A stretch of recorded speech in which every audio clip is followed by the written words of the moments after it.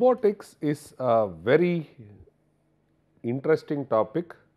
Today you see almost all the school going kids are fascinated uh, in making a robo and uh, today there is lot of advancements which is happening in robot, uh, robo and robo technology. So, in this course also and in reality in computer integrated manufacturing, robos play a very very important role. They play an important role in terms of assembly, in terms of painting. So, they can be robos can be used in a painting station, assembly station, cleaning station as well as material handling. So, robo can be used for spot welding, robo can be used for painting, robo can be used for seamless painting, robo can be used for inspection also today. So, robo plays a very important role when we talk about computer integrated manufacturing. So, here the content of this lecture is going to be robot anatomy and related attributes. We will talk about robo control systems and what are the different end effectors. These end effectors play a very important role. For example, we, we were just discussing about a tree cutting robo. So, you change the end effector, you can use the same robo for multiple applications. So, next is application of industrial robos, then robo programming little bit and then finally, we will talk about robo accuracy and repeatability. When we talk about an industrial robo, an automatically controlled reprogrammable, this is a very very important word, multi-purpose manipulator programmed in 3 or more axes which may be either fixed in place or mobile for use in industrial automation application is the definition for industrial robos. So, the important things are automatically controlled, reprogrammable, multi-purpose manipulator, programmable in 3 or more axes. Okay. This is very important. Why industrial robos are very important? Because robos can substitute human in hazardous work environment. Hazardous work environment means we can also take it environment which is not so conducive for human or it can be even fatigue cycle. Okay. So, consistency and accuracy not attainable by human because of his tiredness. Then it can be reprogrammed. Robos are controlled by computers and can therefore be connected to other computer systems such that the data can be transferred quickly from on the go communication can happen from one computer to another computer and this can work. So, this makes industrial robo very important member in computer integrated manufacturing. When we talk about anatomy, the Robotic Industry Association has officially given the definition of industrial robo. According to the RIA, an industrial robo is a reprogrammable, multifunctional manipulator designed to move materials, parts, tools or other special devices through variable programmed motion for the performance of a variety of tasks. This is the RIA Robotic Industry Association given definition for industrial robots. The first one what we saw was little generic. So, it is very precisely given. So, what are the manipulators job it is supposed to do? It is supposed to move material, parts, tools, special devices through variable programmed motion for the performance of a variety of tasks. The anatomy of a robo is also called the structure of robo. The basic components or selection in anatomy of robots are joints, manipulators, sensors and grippers. Joints are used to connect links. Two links are connected by a joint. So, this joint can give you rotational motion or linear motion. Then manipulator, manipulator is the end effector depending upon the job it changes. Then you have sensors, you also have grippers etc. So, these are the basic components of robo. The anatomy of industrial robo deals with the assembling of outer components of a robot such as wrist, arm, body. Before jumping into robo configuration, here are some of the key facts about the robo anatomy which we should know. End effector.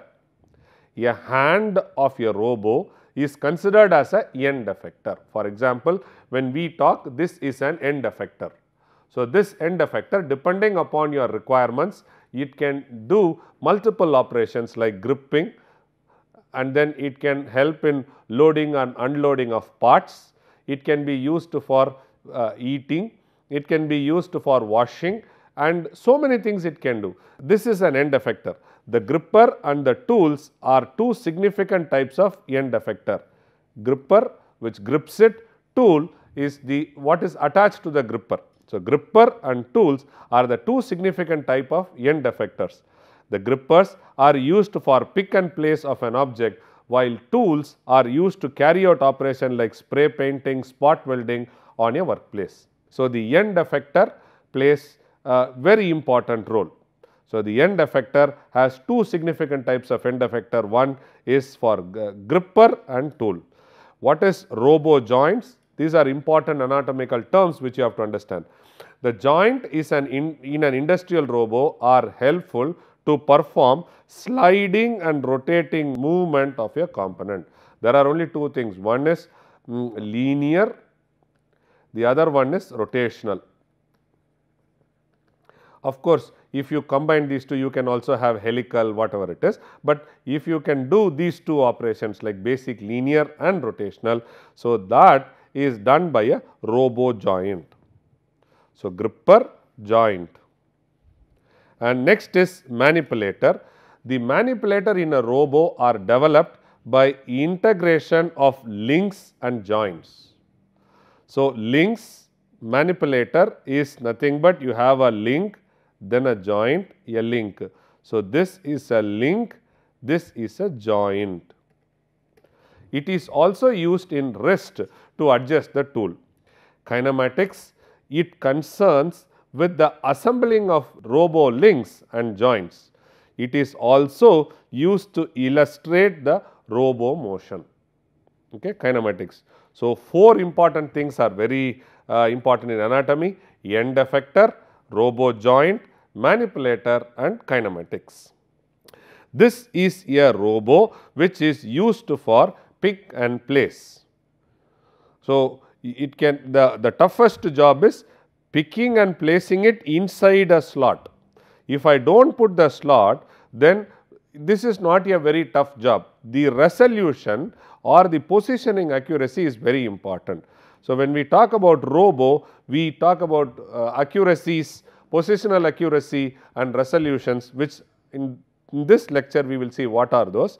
This is a very challenging task. So, here is a robo which is used for pick and place. So, here is a tool, this is a tool, this is a wrist. The wrist can rotate the uh, and and try to do various operations. What are the things? It can do pitch, it can do yaw, it can roll. So, roll is rotation, pitching is moving up and down and yaw is moving left and right. So, all these things can be done by a wrist. This in combination with an elbow where there is again a rotational joint, it can move this up and down. Then a shoulder, this can also help to move up and down. This all rests on a waist which can rotate. So, now you see how many freedoms are there? Rotation about the base, then rotation about this axis, then rotation about this axis, then rotation about the wrist axis, end effector are the tools which are attached which is supposed to do the operation Uh, depending upon the requirement. This clearly shows. So, this is a pick and place robo. When we talk about manipulator, manipulator consists of joints and links. So, joints provide relative motion. What is relative? I had a link, I have a joint, I have a link. So, this joint is going to bring a relative motion between these two fellows. So, links are rigid, this is a link. This links are rigid members between joints. So, this is a link, this is a joint. Okay.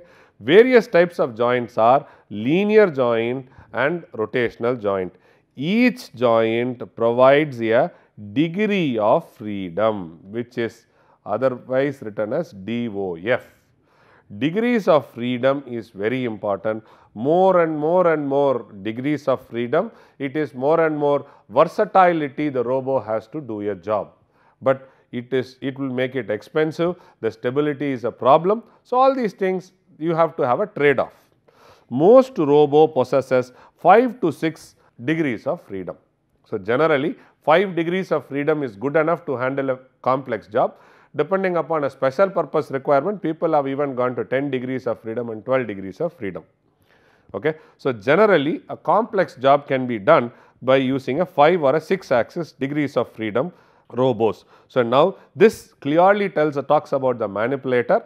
Manipulator consists of joints and links and uh, the joints there are basically two linear and rotational. Link is going to come in between two joints. So, this each joint is going to dictate the degree of freedom. So, there are 5 to 6 degrees of freedom attached to the robo. The robo manipulator consists of two sections. One is body and arm, the other one is the wrist assembly. For positioning objects in the robo work volume, what is work volume? The space within which space within which we can do operations. We can do operations which is specific towards right work volume space. So, for positioning objects in, in the robotic work volume we will that is a space where in which we can do operations. Wrist assembly for orienting the job. So, two, two things please understand two sections body and arm. So, body let us take an example of a human body body and arm for positioning and the wrist for orienting. So, this clearly talks about whatever we have discussed till now. So, robo manipulator a series of joint link combination this is called as a manipulator. So, you will have a base link 0, link 1, link 2, link 0 is attached at joint 1, link 1 and 2 is attached at joint 2, at the end what we put is the end effector or end of the arm. So, when we talk about types of joints, we have uh, two major classifications. One is linear I said translational, the other one is rotational. In translational, you will have two things. One is linear joint and orthogonal joints. Under rotational motion, you will try to have rotational joint, twist joints and revolving joints. So, when we want to buy a robo, the joints will be written in acronyms. So, when we write a linear joint, we call it as L, orthogonal joint we call it as O, rotational we call it as R, twist with T, revolving with V.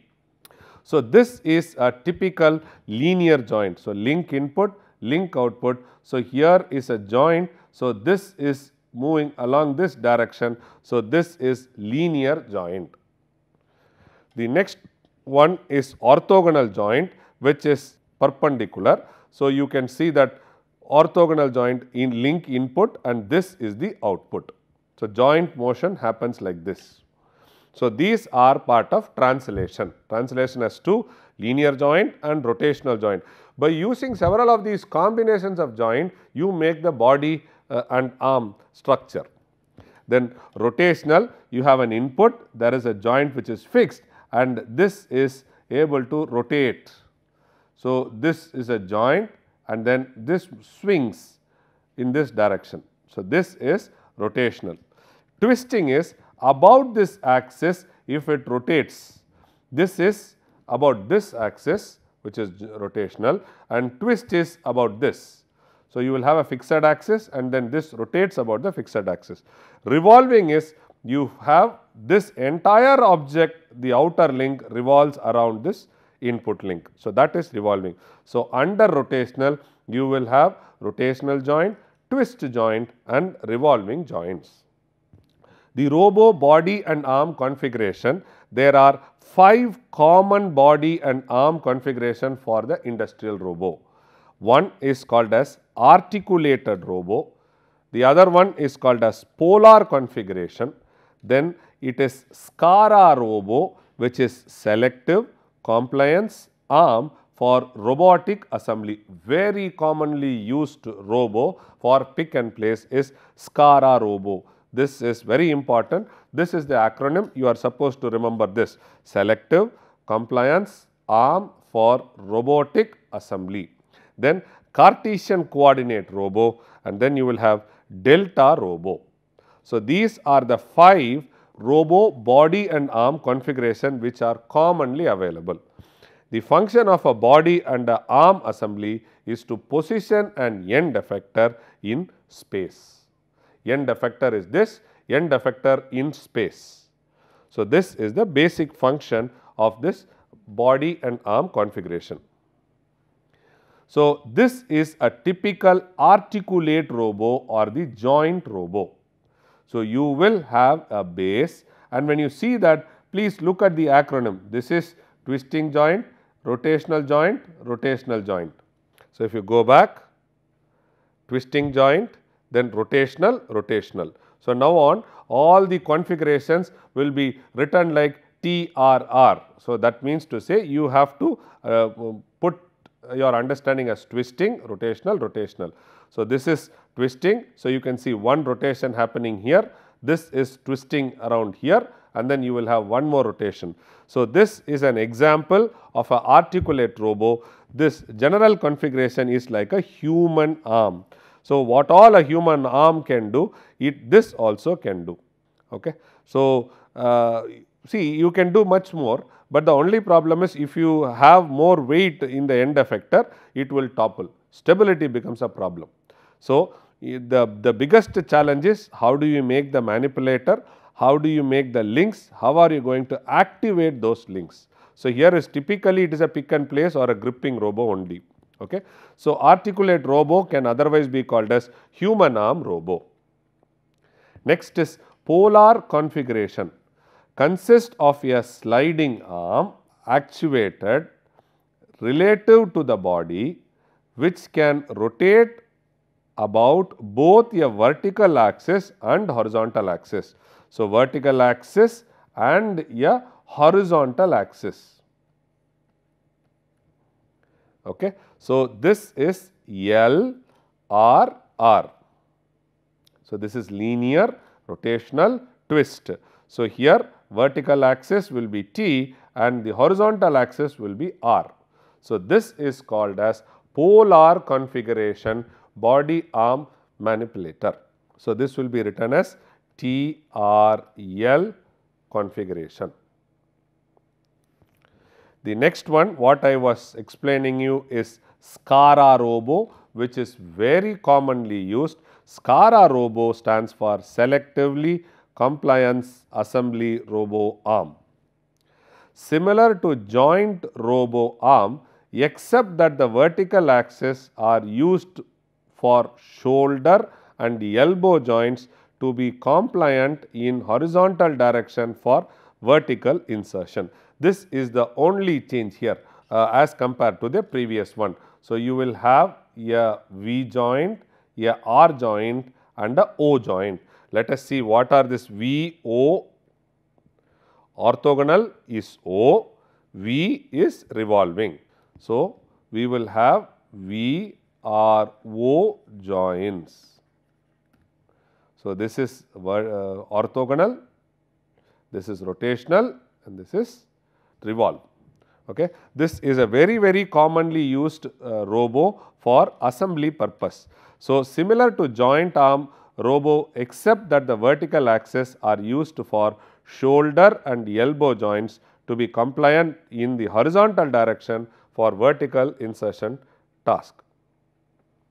Next is Cartesian coordinate robo. This is a Cartesian coordinate robo where we will have three linear joints x axis, y axis and z axis. So, all the three are linear. So, the work volume what it generates will also be linear. Rectilinear robo and XYZ all are linear joints. So, this is basically used again for pick and place depending upon the sorting. The last one is called as the delta robo. Delta robo is consists of three arms attached to a overhead base. This is a overhead base okay, and each arm consists of two rotational, the first of which is powered and the second is unpowered, very very important. So, one is powered, the other one is unpowered. All the three arms are connected to a small platform, this is a platform. So, you can have a drilling machine, milling machine or you can have a positioning device whatever it is. All three arms are connected to a small platform below to which an end effector is attached. So, end effector is here. This is a delta robo. So, we saw 5 configurations which is very important we should uh, know articulate robo, polar configuration robo, then selective compliance arm for robotic assembly robo, Cartesian coordinate robo and delta robo. The function of a body and arm assembly is to position an end effector in a space. Then comes the end effector. What operation you have to do is done by the end effector. Before doing it, positioning will be done by body and arm configuration. Now, let us look into the wrist assembly. Wrist assembly is attached to the end of the arm. The end effector is attached to a wrist assembly. The function of a wrist assembly is to orient the end effector, wrist, orient the end effector.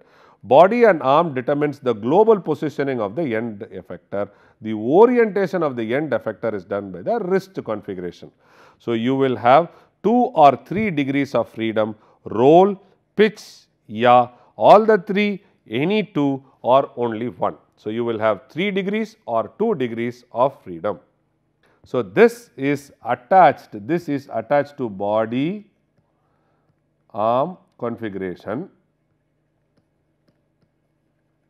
and then what is happening is this will be attached to a wrist. So, in the wrist you have pitch, this is pitch, pitch is this motion which is pitch and then you have roll, this is roll and then finally you have yaw. So, pitch, yaw and roll all the three are rotational, pitch is this, roll is this and yaw is this. Typical wrist assembly has 2 or 3 degrees of freedom. Uh, what is shown here is 3 degrees of freedom, you will also have 2 degrees of freedom. Just exactly click and place you can have 1 degree of freedom also.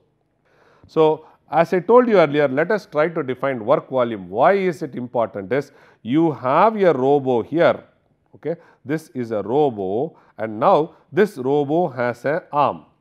This will try to swing in this direction. Now, when this fellow completely, when the robo completely swings, what is its working space? His working space will be something like this when you look in 2D.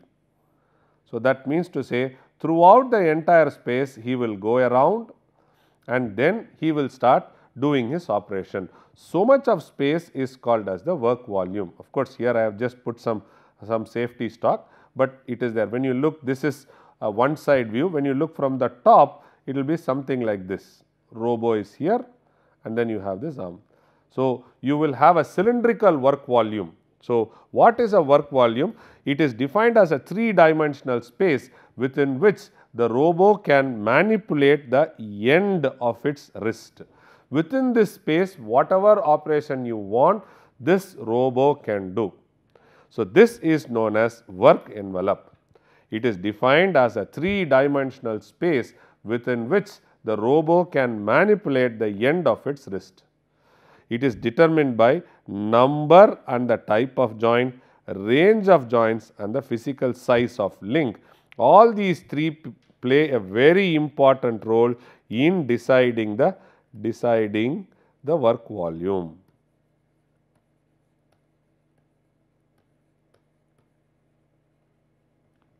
Okay. Size of the link, range of the joint, and then number of joints. So, uses of the joint symbol L, O, R, T, V to designate joint type used to construct a robo arm separates body and arm assembly from wrist assembly using a code dot dot. So, you can see this is for body, this is for wrist. So, now if somebody writes TRL, this is for body colon TR, it is for the wrist. So, the joint notation for 5 arm and body configuration are articulated will be TRR, polar will be TRL, SCARA will be VRO, Cartesian will be OOO and delta will be 3 R R suffix U.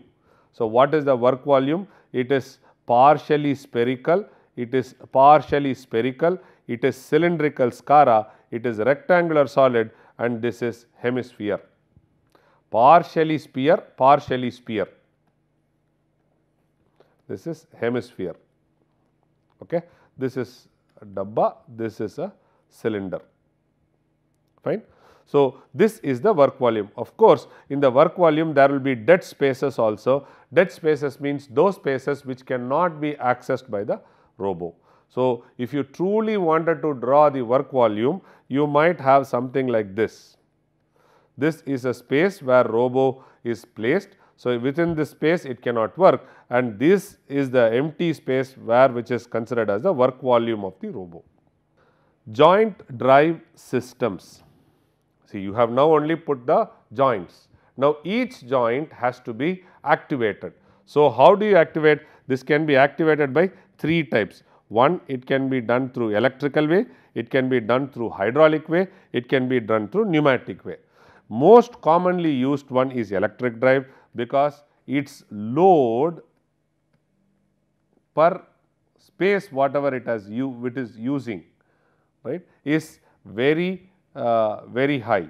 So, that means to say it can carry heavy loads as compared to that of the space. Okay. Electric motor to activate individual joints are very commonly used. It is easy to control, it occupies minimum space, it can have very high power, it is quick to response. Preferred drive system in today's robo and it is very easy to control. You can do it today control without even wires. So, electric motors are the most commonly used drive systems. When the load or the end effector has to lift a heavy load, then electric motors will get stalled and, and high torque will burn the motor. We might go for hydraulics where the gripping load is to be done very heavy. The lifting load has to be 500 kilos or 100 kilos, then we will shift from electric to hydraulic. Uses hydraulic piston and, ro and rotary vane actuators noted for high power and lift capacity. Pneumatics for very light load it uh, and very small robos are using is predominantly used for pick and place or for linear motion. What are the different types of sensors which are used in robos? Uh, there are uh, two basic uh, classifications in sensors. One is called as internal sensors, the other one is called as external sensors. In internal sensor, you will try to control the position and the velocity of the manipulator joint. When we talk about any rotation, we always talk about two items. So, this is rotation, one is positioning, the another one is velocity. These two are very important. These two are the internal category of sensor which is used for the manipulator joint. The external sensors used to coordinate the operation of the robo with other equipments in the work cell, work cell or work volume. So, it is tactile sensors which are basically touch based and force based sensor. Proximity when an object is present within the range.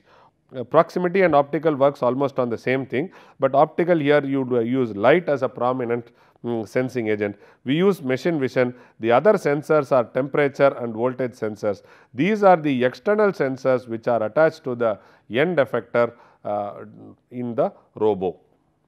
So, this is a tactile sensing device, a tactile sensing because lifting an egg is a huge challenge because egg is not circular, is not a sphere. So, it has a shape which keeps changing and there is a radius and here the gripper if it is flat you will never get a proper contact. So, what they do is they try to have a inverse of it and then that when it touches it has to do. When you apply lot load the egg gets shattered. So, a tactile sensing is used today. These are tactile sensors which are attached to the end effector. These are proximity as and when there is a the current passes through or, or voltage passes through it creates an electromagnetic field and when there uh, when there is a metal object which comes in that range it quickly activates and says oh there is a metal object. So, then it tries to say yes or no presence or absence of the sensors. So, these are proximity sensors. Okay, so, here is an active surface. So, when the metal surface if it is a non metallic object it might not sense and if the range is too large it might not sense. And here if there is a dirty environment proximity sensor works in a big way. When we talk about optical sensors these are sensors where we try to use an optical fiber. So, the optical fiber is used and moment you uh, pull or push the optical fiber you see the, the strains and then you might also try to see passing of uh, light passing through straining. So, temperature measuring infrared is used. So, there are so many things. So, temperature can be measured, strains can be measured and uh, this is in turn attached to the external sensor uh, of the uh, robo. Then we have machine vision today. Machine vision works on edge detection reduction and the other thing is if you have a soft material for example rubber and if you want to measure the dimensions of the rubber you have to do it without touching. So, vision plays a very important role and suppose you have a very complex texture which is on the surface it is very difficult for measuring it through any other sensor apart from vision sensor. So, you will use camera and there is a lens which focus on the object. So, uh, the light hits and there is a lens. So, it, the camera captures the image and this image is checked with the standard and then it is used for um, various dimensions are checked and then whichever is a, mm, a defective one. So, then we put a material handling device and remove the defective sample and the rest all is done. So, robo vision is also very important which is in turn attached to the end effector to do the job. So, a combination of sensor examples you can see here, here is a sensor where in which you can see a cloth which is getting folded and then placed it inside. Pick and place is also there and it is also getting folded. So, here we use a combination of sensors. First we have to use a tactile, then we have to use vision, then we have to use um, image and then finally we have to do this operation. Though it is uh, in manual way it is very easy, but asking a robot to fold a cloth is a big challenge and a sensor to find out weight, color, texture and then decide what is the operation to do. So, this is a combination of several sensors which is used as an example. The next one is the robo control systems. Till now what we saw? We saw the body, body and arm configuration. Then we saw different types of manipulators and then we in the manipulator we saw different types of sensors and now we will try to and in sensors we saw two which is internal sensor and then external sensor and now we will move into control systems. The control systems limited sequence control is pick and place operation using mechanical stop to set positions. Playback with point to point control is records work cycle as a sequence of points then plays back the sequence during the program execution. For example, this is assume that there is a blind man, the blind man is held by his stick and he is walked from A position to B position. He registers the number of steps and then when, when he has to repeat the same thing he will do it the next day by just doing the same counting of steps moving left and right and reaching towards the destination. So, that is nothing but playback with point to point. He only is worried about the line in which he has to move. He is not worried about whether a zigzag motion little bit, but he is only worried about start point and end point. Playback with continuous path, greater memory capacity and or interpolation capacity to execute a path like in CNC machine this is nothing but G01 command, this is nothing but G02 and G03 command, start point, end point, interpolation and several other details are to be loaded. So, it is playback with continuous and the last one is intelligent control exhibits behavior that makes it seems intelligent, responding to sensor inputs, makes decision, communicates with the human and then he tries to control. Today all the driverless vehicles are thought of in intelligent control system. So, these are the four different types of control system limited sequence, playback with point to point, playback with continuous and intelligent control systems. When we talk about robo control systems input output, so there is a program store and then there is a executive processor and then there is a computational processor. So, these are the joints which are linked to it. This is a typical hierarchical structure of a robo microcontroller used. So, we will have a program which is stored, then we will have a computational processor. This is the executive processor. So, input output is given, joints are given their their values if it is rotational, linear, angle or uh, displacement is given. So, accordingly the joints work. So, this is a hierarchical structure of a robo microcontroller system. The end effectors, a special tool for the robo that enables it to perform a specific task. There are two types of end effector, one is called a gripper, the other one is a tool. A gripper to grasp and manipulate an object where tool is to perform a task. So, this is a gripper. So, you can see a two finger gripper, you can have both the fingers moving or you can have one finger fixed and the other finger moving. Both are used for gripping action. The two finger mechanical gripper for grasping rotational part is there in a gripper. So, you can see here these are all rotational joints, this is a rotational joint which is given and you just have to put a motor and activate it. The advances in mechanical gripper are there are dual grippers interchangeable, interchangeable finger. So, that means to say you can make a finger size larger, smaller, round, box, prismatic like, helical like, whatever it is. Then sensor feedback to sense presence of an object to apply a specific force on an object. So, these are some of the advancement. Suppose if the object itself is not there, they have an optical sensor, it detects no object there, it does not work. The second thing is it tries to apply a load and if it feels that there is a slipping happening by the object between the object and the gripper, then it will try to apply a specific force or increase the force to have a proper holding. So, multiple finger gripping is also there and standard gripper products to reduce the amount of custom design requirements. All these things are recent advancements which are happening in Robo so that they make the handling and the processing much more easier and faster.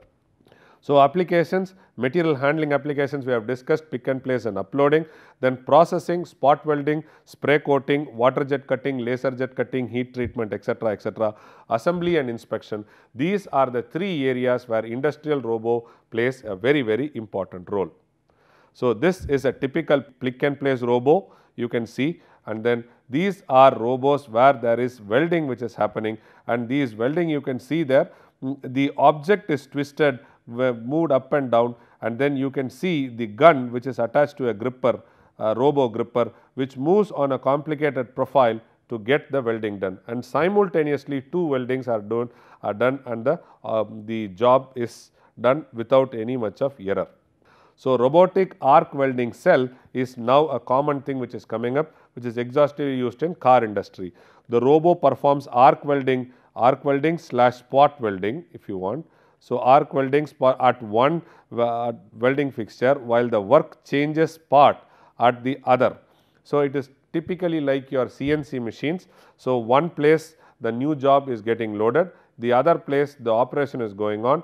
By the time the operation is going on, the next job is ready. So, moment it is ready, this swaps, this goes inside and this fellow comes outside and a arc welding process continues. Here it can be in a straight line, it can be in a contour, you can have multiple axes either to the robo arm or to the workpiece to make complicated welding joints easy. So, moment you say uh, arc welding you can fix a laser, you can fix a water jet to get complicated profiles. Today we have 5 axis water jet cutting machines, 5 axis laser welding machines. So, the robo application characteristics are uh, general characteristics of industrial robo situation that promote the use of industrial robo wherever there is a hazardous environment try to use robo wherever there is a repetitive task use robo wherever there is a difficulty in handling uh, by human use robo. So, uh, you do a multiple shift operation a robo can do infrequent changeover. So, where the changeover is not very fast one full shift one job is done uh, or a set of jobs are done, then we can use robo. Part positioning and orientation are established in the work cell. So, these are the characteristics for robo application. When we talk about programming, robo programming is also a very important thing. So, if you can teach by holding by hand, it is by teach pendant or holding by hand, it is a primitive technique. Today what has happened, we have now started working on obstructional deduction and finding out the shortest path to reach from the source to the target. So, robo programming has come up in a big way. A robo programming can be defined as a path in space to be followed by a manipulator combined with a peripheral action that supports the work cycle. So, you will have opening and closing a gripper, you will have performing logical decision making and communicating with other pieces of equipment in the work cell. These are some of the examples of peripheral actions. So, robo programming is coming up and there are several languages which are developed today in which you can start writing the robo programming. And uh, like CNC, you can also use G codes for writing the robo programming. So, types of programming which I were just discussed lead through programming, robo programming through language, simultaneous and offline programming. Lead through uh, programming, a work cycle is taught to a robo by moving the manipulator through the required motion cycle and simultaneously entering the program into a controller memory for later playback. So, it is just like holding a blind man walking through, T having a teach pendant doing that. So, lead through programming is that. Next is robo programming language. We use a textual programming language and enter the commands to tell the movement of the robo within the work volume. Next simulation and offline programming. The programming is prepared at a remote computer terminal and downloaded to the robo controller for execution without need for lead through method. So, this is an interesting thing. Lead through programming again there are powered lead through and manual lead through. Commonly it is point to point, manual lead through is continuous, this is very important. Uses a teach pendant to move joints to desired position and record the position. So, it might move in a bang bang position start stop. So, it will go very fast and the path is immaterial. So, human program physically moves the manipulator through the motion cycle, records the cycle into the memory that is manual lead through. So, you have powered lead through and manual lead through. So, the advantages it can, easily be learned by the shop floor man. A logical way of teaching a robo does not require knowledge on computer programming. It is something like a semi-skilled labor can teach.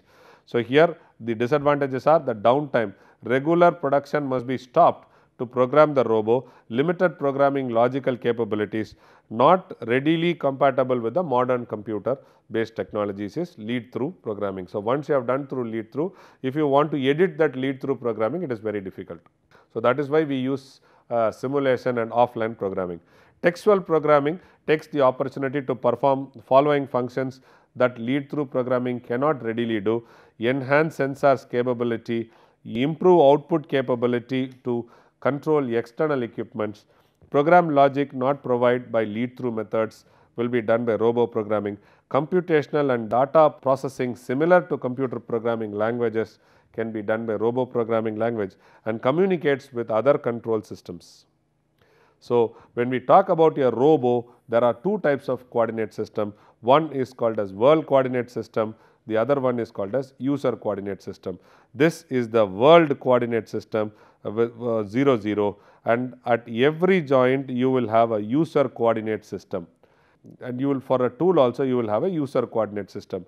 Now, every time when we write a program or, or when we try to do an analysis, we should make sure that the axes of the world coordinate system and the user coordinate system are the same. Otherwise, we have to transfer or translate these references in such a way uh, with respect to the world coordinate system and then execute the program. So, what happens is this will try to give you a proper control over each of these joints to execute the job. So, origin and axis of the robo manipulator are defined relative to the robo base. So, origin and axis of a robo manipulator are defined relative to the robo base. So, world coordinate system is very important. At each joints you should be able to put a reference coordinate system, find out the xyz axis and then try to put them properly, then start writing a program. So, in fact, in the forward kinematics what we do, we try to bring all the translations, rotation about the axes and then we try to map it with world coordinate system and then execute the movement. So, there is a world coordinate system, there is a tool coordinate system. This is the tool coordinate system. So, you see here this is the z axis, x axis, work axis, right hand coordinate system is used. So, the world coordinate axis this is the z axis and these are the other two axes. Alignment of the axis system is defined relative to the orientation of a wrist face plate to which the end effector is attached. This is the wrist face plate. So, moves are relative to axis systems defined by a tool orientation. So, this is the motion programming commands. So, we will say move P1. So, here P1 used through lead through manipulator then moves P1 then D move 4 comma 125 these are the coordinates approach P1 uh, which is 40 millimeter depart from 40 millimeter define path 1 2 3 path P1, P2, P3. So, P1, P2, P3 will be defined earlier, move path 1, 2, 3 with a speed of 75. So, this is a motion programming which is used lead through is 1 then it is motion based. So, then interlocks and sensor commands are given. So, wait 20 seconds or 20 milliseconds, signal 10 is on, signal off, then react, safety, stop, yes, no. The gripper commands can be basic open close or it can be close and wait or close with a load. So, it will be 25 millimeter close at 2 newtons. The simulation and offline programming in conventional usage robo programming language still requires some lost production time in order to define points in the workspace that are referred in the programming. They therefore involve online and offline programming completely you do a robo path finding and then you make a, a, layout and then allow a robo to move in that layout and then find out where all the obstructions are there, how can it jump over the obstacles or detour from the obstacles and reach the target. So, now this is simulation is done and offline programming is done. So, this tries to give a better control over the situation. So, in lead through it was not talking about the sensors and other things. In motion control we were talking about uh, sensors and its function attached with the lead through. Now, simulation and offline is the next advanced one. The advantage of true offline programming is that the program can be prepared beforehand and downloaded to the controller with no loss of production time. The graphical simulation is used to construct a 3D model of a robo cell so that you can plan your operations. The last part of the robo discussion is we have to understand robo terminology called robo accuracy and repeatability. There are three terms which are defined in uh, as far as robo is concerned just which is very similar to that of a numerical control system. Control resolution, accuracy and repeatability. Repeatability is nothing but the capability to position the wrist at a previously taught point in the workspace is repeatable. I repeatedly do a task, what is the accuracy? So, repeatedly do or repeatedly go to the same place. So, capability to position the wrist at a previously taught point in the workspace is repeatability. Accuracy is the capability to position a robo wrist at a desired location in the workspace given the limits of the robo control resolution. Okay. Accuracy, accuracy is nothing but the capability to position the robo's wrist at a desired location in the workspace given the limits of the robo control resolution. So, the control resolution is capability of a robo positioning system to divide the motion range of each joint into closely spaced points is resolution. If you talk about a computer, pixel is a resolution. The least count, the capability of a robo positioning system to divide the motion range of each joint into closely spaced point is called as resolution. So, these are three important terminologies which are very similar to that of numerical control. Control resolution, accuracy, repeatability. Repeatedly I go to a place that is repeatability. How close I go to the set target is resolution. Accuracy, capability to position a robo wrist at a desired location in the workspace given the limits of the uh, robotic control system. So, to summarize what all we covered in this, what is your uh, robo uh, anatomy, what is your robotic related attributes, what is degree of freedom, control systems, end effectors different type, application of industrial robo, robo programming and accuracy and repeatability. These are the topics which we were covered in this lecture. So, I would like to give you a small assignment before I conclude. So, this is an assignment you do not have to give it to me or submit it. Okay. So, try to let us play a small thing and try to understand uh, resolution and accuracy we will try to see. First close your eyes. First step. Second step what you do is you try to keep a glass, empty glass in front of you okay, and start filling the glass with liquid.